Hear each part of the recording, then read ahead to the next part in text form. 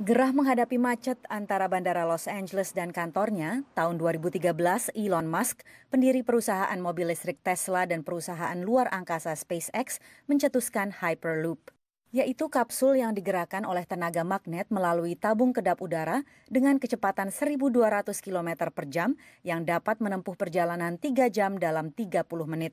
Bulan lalu Elon Musk menggelar kompetisi internasional untuk membangun prototipe kapsul penumpang Hyperloop.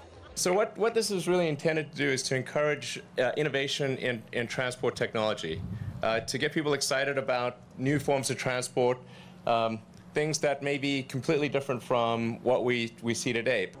26 tim dari seluruh dunia mencoba kapsul rancangan mereka melalui tabung hampa udara sepanjang 1.600 meter yang dibangun oleh SpaceX. Kecepatan tertinggi diraih tim Technical University of Munich, Jerman. Well, it went uh, pretty well. We went down all the way, reached 93 kilometers per hour.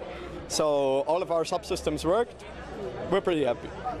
Tim lain bernama R-Loop terdiri dari 140 insinyur dari seluruh dunia yang bekerja sama dari jarak jauh. The first time we tested the vehicle was the was when we came to the competition, and because was also the first time some of us that have been working on that for a year and a half ever met in person. Kapsul-kapsul ini diuji dengan kriteria efisiensi, stabilisasi, kemampuan rem, dan faktor-faktor lain. Kamera di dalam tabung dan kapsul menunjukkan konsep ini mungkin diterapkan. Skor tertinggi keseluruhan diraih tim Delft University of Technology dari Belanda. We uh, designed a completely integrated vehicle, even with a passenger compartment with lighting and an interior. So besides just having the levitation system and braking and making everything safe, we also have a full ergonomic vehicle. SpaceX akan menggelar kompetisi berikutnya dengan fokus pada kecepatan tahun 2017 ini.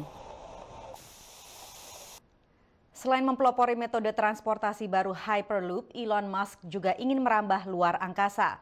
Melalui perusahaannya SpaceX, Elon Musk tengah melancarkan sejumlah proyek dengan pendanaan sangat besar guna menjelajah planet Mars sebagai tempat tinggal manusia berikutnya. Dari Washington DC, saya Patsy Widakuswara dan tim VOA.